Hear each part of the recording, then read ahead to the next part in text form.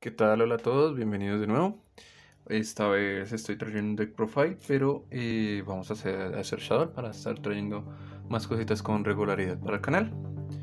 Entonces, pues este es un deck profile de Shadow Magistus. Es una versión, por así decirlo, budget o económica del deck. El deck en este momento es muy asequible, de pronto sí es un poco difícil conseguir las mágicas de fusión, pero pues es un deck muy bueno que hay que sacarle jugo y que pues una de las cartas más importantes que es la Schism vino reimpresa en la Megalata y está bastante asequible. Entonces por qué no jugarlo entonces vamos allá con el, con el deck profile. Entonces vamos a ver primero los monstruos Shadow. Llevamos un bestia solo uno porque más allá de eso se convierte en un brick es un bicho muy bueno eh, pega, es bastante grande y pues nos va, nos va a generar ventaja de cartas, no solo porque roba, sino porque cuando descarta, descarta por, por efecto. Entonces hace que los Shadow apliquen efectos. Un, sombra, eh, un dragón, siempre es bueno tenerlo. Eh, reventar atrás, siempre, siempre es bueno tener acceso a eso. Al muchas veces le duele pelear contra decks que tengan mucho back o mucha fuerza con el back. Entonces siempre es bueno tener como ese out adicional. Tres lagartos, la verdad es uno de los mejores Shadow. El hecho que envíe, el hecho que reviente cosas, el bicho es muy bueno, pero en general lo vamos a estar utilizando por su efecto de enviar cartas Shadow del deck al cementerio. Es un Foolish Burial muy muy eficiente. Dos Ariel, porque sencillamente su efecto para remover tres de cualquier cementerio eh, puede llegar a ser muy incómodo para, muchos, para muchas estrategias. Es bastante bueno en ese sentido. Además es un atributo más, una forma más de llegar a, a que ya lo veremos más adelante. Obviamente tenemos tres Wendy. En este caso, ¿por qué tres? Porque es ideal nos está llegando más a más monstruos Shadow, nos está cambiando los atributos y pues como ya llegó Teleport y pues vemos que es psíquico, pues son más formas de llegar al Shadow en tal caso que tengamos solo las magias de fusión y no los monstruos Shadow, ¿sí? que es muchas veces lo que nos hace falta. Un puerco spin, un halcón para recuperar, para recuperar materiales o para estar añadiendo cositas a la mano. Solo uno y uno porque pues los efectos son buenos pero no son espectaculares. En cuanto al motor Magistus, obviamente pues tres reilonas. Eh, sus, dos efectos son ambos muy buenos. Tanto buscar una magia fusión, eso la convierte como en, entre comillas, un Alistair chiquito. ¿sí? Bueno, es un Alistair waifu. ¿sí? Que nos busca magia fusión o que nos recupera monstruos que vayamos removido. Por eso no nos va a doler tanto el que estemos removiendo con la Schism o con la misma Resh. Ahora, ah, también una ventaja que es muy importante es que ella es luz, ¿sí? Que es muchas veces lo que le hace falta al Shadow para llegar a la Construct y empezar a construir su campo. Eso por un lado.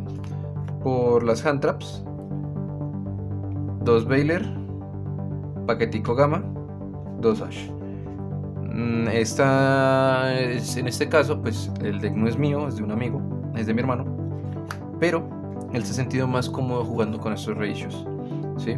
Les da más flexibilidad porque la Ash no se juega más porque pues el deck sí necesita mucho los luz para empezar a correr, para sacar, llegar a la construct. Entonces, como ella es fuego, los atributos no, no nos ayuda. El gamma no, más allá de cuando estamos yendo primero, cuando tenemos la Shadow Fusion en mano, pues no nos está ayudando tanto, pero aún así sigue siendo luz, por tanto el driver no es tan brick, pero pues ayuda bastante, además es de las mejores hand traps que podemos jugar en el momento. Y Baylor porque pues mm, para muchos decks les duele muchísimo jugar alrededor del Baylor o sencillamente un Baylor bien echado pues o nos da más turnos o simplemente cierra el turno. Por las magias. Obviamente Foolish Burial la tumba, obviamente, Caleb Grave sencillamente la carta es muy buena. A uno, se puede, mientras se pueda, se va a seguir jugando. O un plumero, por lo que les decía con el dragón. Al de a veces les duele mucho jugar contra el back, entonces sencillamente esto simplifica. ¿sí? Dos teleport, porque esta dos hay que abusar de ella, la carta es muy buena, nos va a desbriquear muchas cosas, nos va a permitir solucionar muchas cosas, o simplemente convertir los gamma después de que estos se han resuelto en más piezas para seguir fusionando. Dos Super Poli, porque sencillamente soluciona los campos, porque la carta es muy buena, no se le puede responder, no es lo ideal arrancar con ella, pero sí rompe todos los campos en general. 3 Shadow Fusion, obviamente la carta más importante de los Shadow tiene que estar a 3. 2 Fusión el Sombrañeca, no, a veces no la termina resolviendo tanto, pero sí es muy buena y hay que tener el acceso a las, a las magias de fusión. Y dos Invocation, dos Invocación Magistos. ¿Por qué dos? Porque pues ya la Rilona la busca. Eh, ya, tenemos, ya tendríamos ya demasiadas cartas de fusión con las que vamos a estar eh, fusionando. O sea, aquí ya son 5, 2, 7. Y si tenemos en cuenta pues la Super Poli, ya son unas 9 magias de fusión. O sea, imposible que arranquemos sin magias de fusión. Por eso están las tele para llegar a los monstruos para poder fusionar. Porque nos da lo mismo arrancar con monstruos sin magias que arrancar con magias pero sin monstruos. Entonces la carta es muy buena. Además que las fusiones Magistus también fusionan únicamente teniendo dos, dos Spellcaster y son más formas de interrumpir. Si se dan cuenta, la idea detrás del deck es que uno puede interrumpir, uno puede estar interactuando con, el, con su oponente todo el tiempo. Y tenemos también dos Sisma, dos Schism, dos Schism y dos Resh. La idea es que siempre estamos funcionando, y estemos haciendo control y estamos interactuando con nuestro oponente todo el tiempo. Entonces por eso. Y pues como ya tenemos la facilidad de que la Ringlona no está recuperando eh, monstruos, pues por qué no jugar dos de, la mejor, de, las de, la, de las mejores cartas del deck Shadow. Por el extra deck. Obviamente por la parte Link, pues obviamente controlador de la gravedad. Una Crochet, un Phoenix por los links genéricos. Los links 2 son, son en general muy buenos. Esto simplemente se convierte en un la Canon para buscar un esquismo, para seguir recuperando materiales y pues es un bicho que pues si nos quieren ganar tienen que quitárselo sí o sí. La Cruship nos permite llegar a este señor, al World porque hay que cerrar los duelos. Muchas veces el puede ganar sencillamente por recursos, pero necesita cerrar los duelos rápido. Para eso está este señor. Sombrañeca Constructo porque pues sencillamente a veces no tenemos el acceso para fusionar, para las magias de fusión, pero sí tenemos el acceso a los dos monstruos de volteo. Entonces podemos hacerla de ella y empezar a funcionar a partir de ella. Apolusa porque es Apolusa, sencillamente muchos decks les duele jugar alrededor de ella y pues se puede hacer porque eh, la Crochet también nos permite llegar a ella. Dos Winda, creo que es indiscutible. Dos Al Capone. La carta no, pues ya, no creo que necesita presentación, la carta sencillamente es muy buena. Busca todo lo que necesitemos. 3 Construct, la carta de la, mejor, la mejor fusión del deck, sencillamente. Lo que necesita el deck para estar funcionando, para arrancar. Obviamente pues es la mejor después de Winda. Por las fusiones Magistos, pues está Iwas.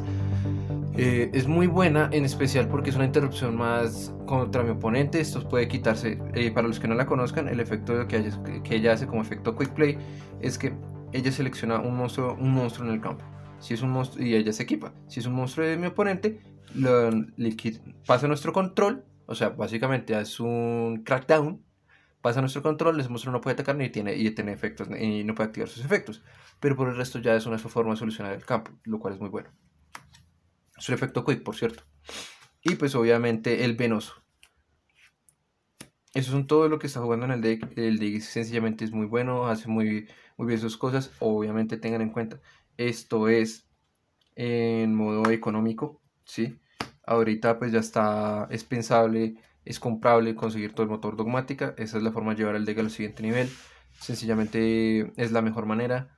Eh, no me parece que tanto el deck lo invoque sea tan importante, por más que ponga una negación, pero pues ahí está, depende para como a ustedes les guste. Espero que a ustedes les agrade esta forma de jugar el deck y cualquier cosa no olviden comentar, suscribirse. Adiós.